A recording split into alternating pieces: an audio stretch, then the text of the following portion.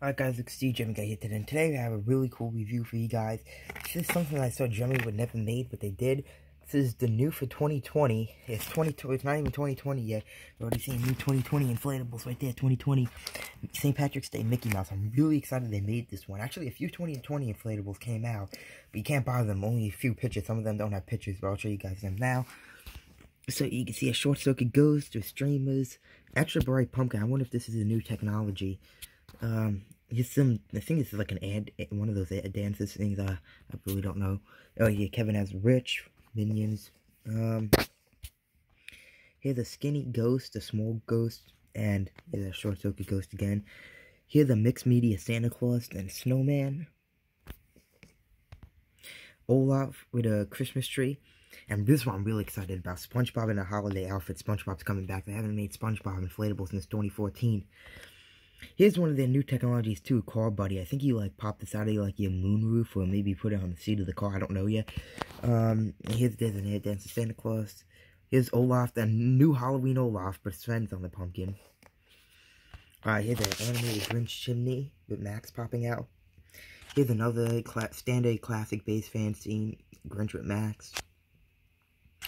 Uh, Toy Soldier, Fuzzy, uh, this is a clown, one of those car buddy things. I believe is a rich. I, I, I didn't get a picture of that one. And then here's a new technology. I don't know if this one's being made. I mean, oh, this one here is being made, but I don't know. There's a Snoopy version too, the snow cone machine that was sold at Lowe's a few years ago.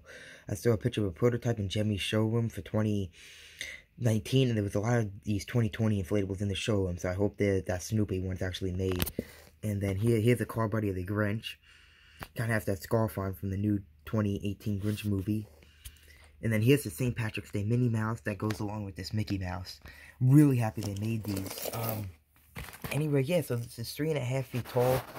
I, I like I said, I'm honestly shocked that they would have made something like this. Usually they don't make St. Patrick's Day inflatables, and when they do, it's just a standard leprechaun. So, she just a standard cheap fan.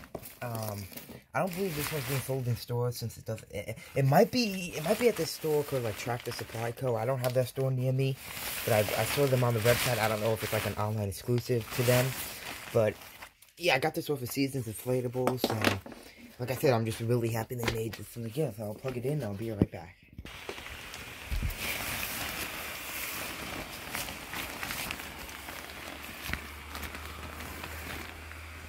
Alright, so here he is.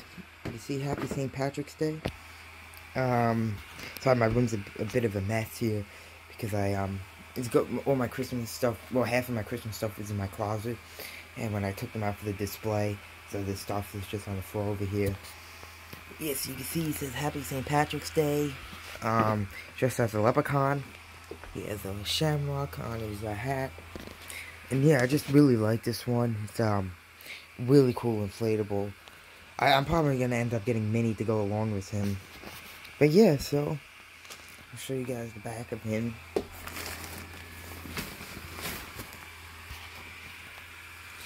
You can see he doesn't really, he leans.